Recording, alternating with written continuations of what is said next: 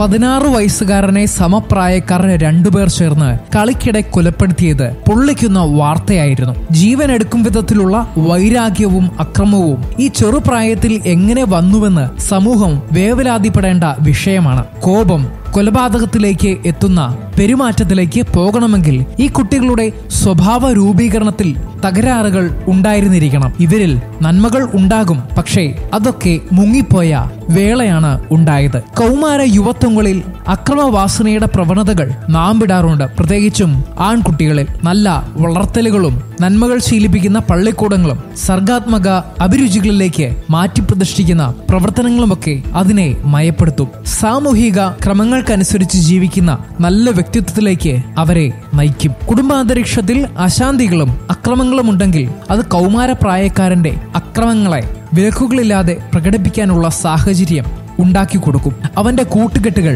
ക്രൈമുകളുടെയും ലഹരി ദുരുപയോഗത്തിന്റെയും പാതയിലാണെങ്കിൽ അവനും ആ വഴിയെ പോകും. വീട്ടിലെ മുതിർന്നവരുടെ അക്രമങ്ങൾക്ക് ഇരയായിട്ടുള്ള കുട്ടികളിൽ പലരും അക്രമ മാർഗത്തിലേക്ക് പോകുമെന്നാണ് പഠനങ്ങൾ പറയുന്നത്. ചില കുട്ടികളിൽ പാരമ്പര്യ ഘടകങ്ങൾ ഇത്തരം പെരുമാറ്റ വൈകല്യങ്ങളുടെ വിറ്റിടാറുണ്ട്. വളർത്തുദോഷങ്ങളുടെയും പ്രതികൂല കുടുംബ സാഹചര്യങ്ങളുടെയും സൃഷ്ടിയാണ് പലപ്പോഴും അക്രമ വാസനകൾ.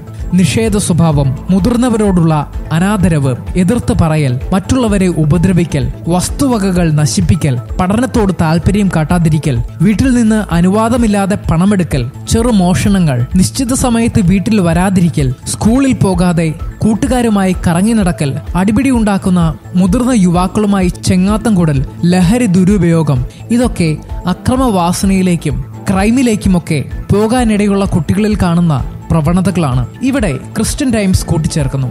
ഈ ചെറിയ ചെറിയ ദുർസ്വഭാവങ്ങൾക്ക് മാതാപിതാക്കളിൽ നിന്ന് അധ്യാപകരിൽ നിന്നും മറ്റു മുതിർന്നവരിൽ നിന്നും ശിക്ഷണവും ശകാരവും വേണ്ടി വന്നാൽ അടിയും കിട്ടുമായിരുന്നു. അങ്ങനെ അടി കിട്ടും എന്നുള്ള പേടിയും ശകാരത്തോടെയുള്ള തിരുത്തലുകളും കുട്ടികളെ വളരുവാൻ ഒട്ടേറെ സഹായിച്ചിരുന്നു. ബാലസംരക്ഷണ നിയമങ്ങൾ ഈ സ്വാഭാവിക സംവിധാനങ്ങളെ റദ്ദാക്കി. വേൾഡ് ബാങ്കിൽ നിന്നും ലോൺ ലഭിക്കണമെങ്കിൽ ഇതുപോലുള്ള നിയമങ്ങൾ നടപ്പാക്കണമെന്ന് അമേരിക്ക പോലുള്ള കുടുംബങ്ങൾ നശിച്ചുപോയ വൻകിട രാജ്യങ്ങൾ അവികസിത രാജ്യങ്ങളെ നിർബന്ധിച്ചു. ആരെയും കുറ്റം പറഞ്ഞിട്ട് കാര്യമില്ല.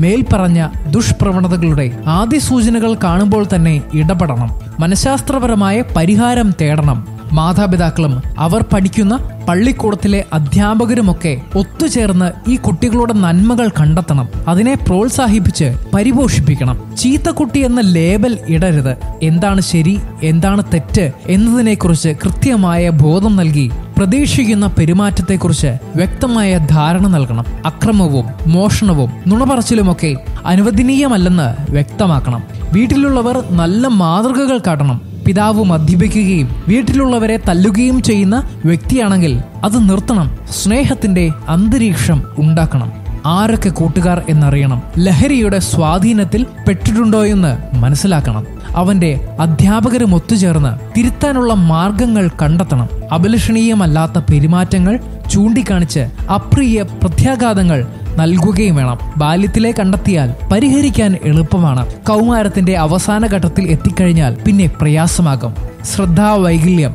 എ ഡി എച്ച് ഡി പോലുള്ള ചില മാനസിക രോഗ പ്രശ്നങ്ങളുള്ള കുട്ടികളും അക്രമ വഴിയെ പോകാം.